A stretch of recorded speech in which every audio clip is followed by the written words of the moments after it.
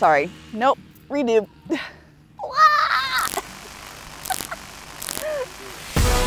All right, guys, so I want you to meet a really good friend of mine. Hey guys, so super cool video coming to you. We are out on Main Street. It's just really short. I love how people mysteriously get on their phones as soon as they see us. Local installment about the coffee shop. Local freaking shop. All right, so schools, Greenville, South Carolina. Uh, so when I get asked this question, I usually send you to two resources that I think are really great. And I'm gonna be referencing them throughout the video because this is where we get the information from. Uh, so Aubree, what are the best schools to look into or what air, what are the schools like in this area? And here's just some quick information. Um, so I got this information from greatschools.org and they are a independent nonprofit that does national school rate rankings. And when you look at their website, you just go up to the top, search the, the town, the city that you're looking at moving to, and it'll give you a full list of all of the schools in the area. And as long as there's enough data there from the rankings, we also will look into um, like what they, they rank from one to 10. And so we're, we're going to talk through like, okay, so you're looking at Greenville and how do they calculate these school rankings? So first, you will see when you go to their page, uh, something called a summary ranking. And that ranking comes off of four different sets of data. Um, so it's student progress, the academic progress, equity rating, and then test scores. And then they take an average of those test scores. And that's how you get the school ranking. Now, um, they're also ranked as if they are 7 to 10 ranking, they're above average. If they are about 4 to 6, they're average ranked. And if they're below 4, that 1 to 3, they're below average. So just a little bit of information as you're looking at this website, how to read it, um, and what to look into. Uh, another cool thing about the website is um, you can go and, for example, um, let's talk about Greenville specifically. So Greenville County so the Greenville County School District has over 76,000 students currently in its uh, student population, and that is across uh, 93 different schools. And here in the area, that's not just the public schools, it's also the charter schools. And uh, so you'll wanna know that there's a lot that goes in here into this um, ranking system. Now, another website that I looked at that I think was, um, that is very good to look into is um, kiddingaroundgreenville.com. And their website will also give you a um, what to know about Greenville County schools.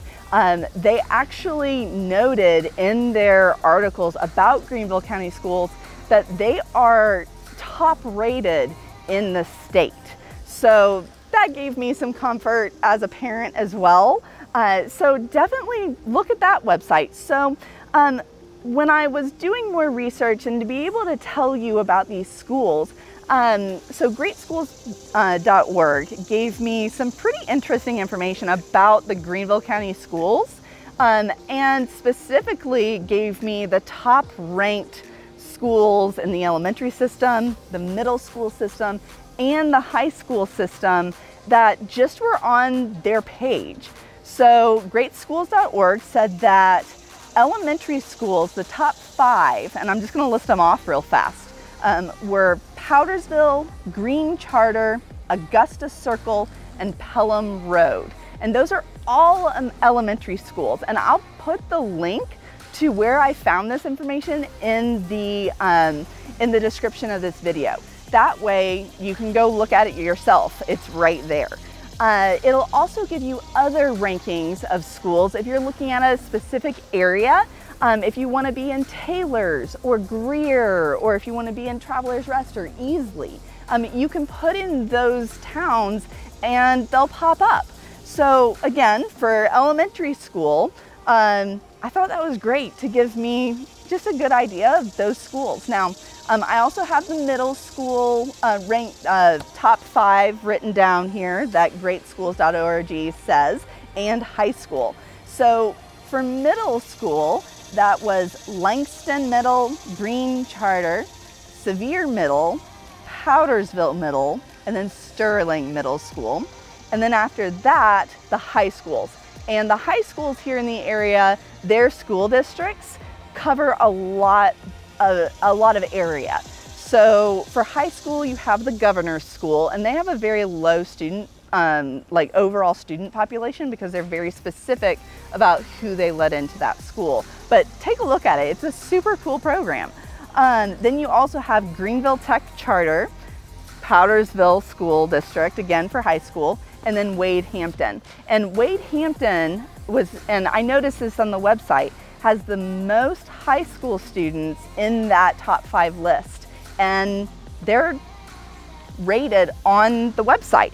Um, so a couple other things that you need to know about schools here in the upstate is that there's also a school choice program. Um, you'll hear it called um, the school lottery program. And this is something that I found really interesting and I found on the Kidding Around Greenville website. It's such a great resource. I'll make sure I put that link in the description of the video as well. Um, so go to Kidding Around Greenville and you'll actually find that they have linked uh, the different forms for school choice. I will also put those links in the description of this video. So say you move to, the, to an area and you would like to give your child options of schools to go to. So you want to do the school lottery system. Now what this does is it gives you the uh, opportunity to request your child to be in up to three different schools of choice. And I understand, like you put your top choices number one, second, third, and so on. Now the dates for this are really important, so listen to this.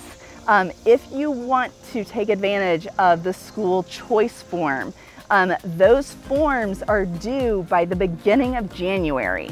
Um, so don't wait. If you get here and you want your kid to go somewhere, the earlier you get that form in, the better. Um, and then the results of the school lottery system are usually announced somewhere, I would say mid-February. And it's something where I think it's a great system um, and I hope it helps you out.